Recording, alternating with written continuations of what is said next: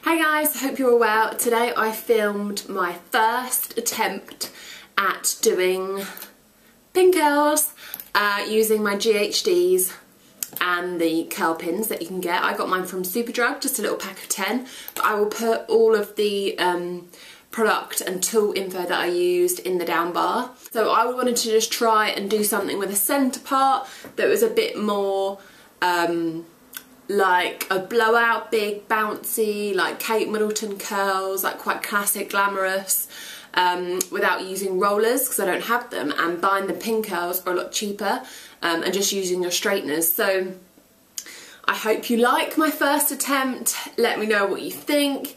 Um, it must be quite easy if I can do it first go and film it so um, I hope you guys enjoy it. Yeah, if you like the video please don't forget to subscribe and write a comment and give me a thumbs up and I'll see you on my next one. Bye guys. Hi guys, first of all you're going to start off with towel dried hair and then take your Unite Hair 7-7 seconds conditioner and run it through the bottom section of your hair. Then take the Bumble and Bumble sea salt spray and spritz it throughout. And then you want to finish off drying your towel dry hair with your hair dryer. I just use my Tresemme. Then section your hair just above the ears using a butterfly clip and give it a good old brush through.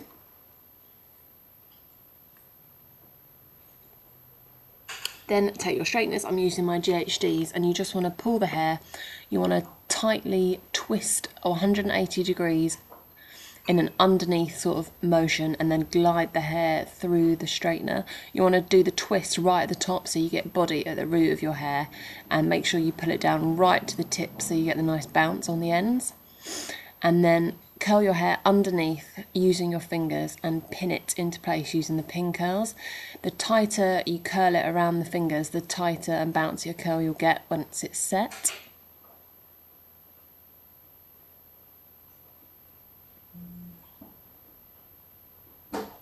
Just again I'm just showing you again just twist it around your fingers and then pin it into place. It's a bit tricky around the ear but um, try and make sure that the pin curl is secure because you don't want it to fall out in the setting sort of time and so I repeated it throughout now with the top section what you want to do is you want to, I just tease it slightly using a teasing brush. I just do three little teases at the root, but with the top middle section of your hair, instead of tucking the curl under, you want to tuck it backwards, and this way it will part easily when it's once it's set and you take your hair out. But also it means that it it will just bounce up high, it won't lay um, flat. Um, and it's just a nicer way to do it. You do it like this when you're using um, uh, all different curling methods. Just pin it up into place. And then once you've pinned all your hair, you want to just spritz it with a, a light mist hairspray. So I'm just using the Elnett Satin. It's not too much hold, but it just helps to set the hair in that position because you don't want crunchy bits to be underneath.